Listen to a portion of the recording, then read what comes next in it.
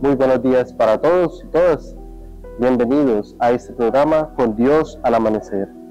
Hoy, martes 5 de noviembre, démosles infinitas gracias a Dios por un nuevo día, por un nuevo despertar que nos regala, pero siempre agradeciéndole por todo lo que nos regala durante toda la semana y durante este inicio de semana.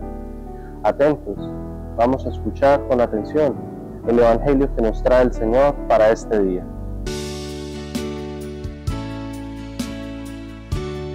Tras oír esto, uno de los comensales le dijo, Dichoso el que coma el pan en el reino de Dios. Pero él contestó, Un hombre dio una gran cena e invitó a muchos. A la hora de la cena envió a sus criados a decir a los invitados, Venid, que ya está todo preparado. Y todos a una comenzaron a excusarse. El primero le dijo, Compré una hacienda y necesito ir a verla. Te ruego me des por excusado. Otro dijo, Compré cinco yuntas de bueyes y voy a probarlos. Te ruego me des por excusado. Un tercero dijo, Me he casado y por eso no puedo ir. Regresó el criado y refirió esto a su señor. Entonces, irritado, el dueño de la casa dijo a su criado, Sale enseguida a las plazas y calles de la ciudad, y trae aquí a los pobres, a los tullidos, a los ciegos y a los cojos. Dijo el criado, Señor, se ha hecho lo que mandaste y todavía hay sitio. Entonces el Señor dijo al criado, Sal a los caminos y a los cercados y obliga a entrar para que se llene mi casa. Pues os digo que ninguno de aquellos hombres que fueron invitados gustará mi cena. Palabra de Dios. Hoy el Señor nos ofrece una imagen de la eternidad presentada por un banquete.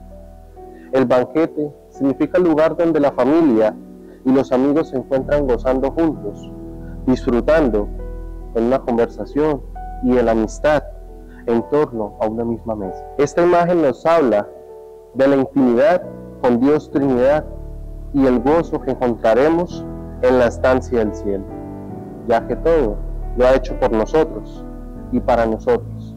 Y Él nos llama porque ya está todo preparado y Él no quiere que nos separemos de Él. Él nos quiere junto a Él y nos quiere a su lado.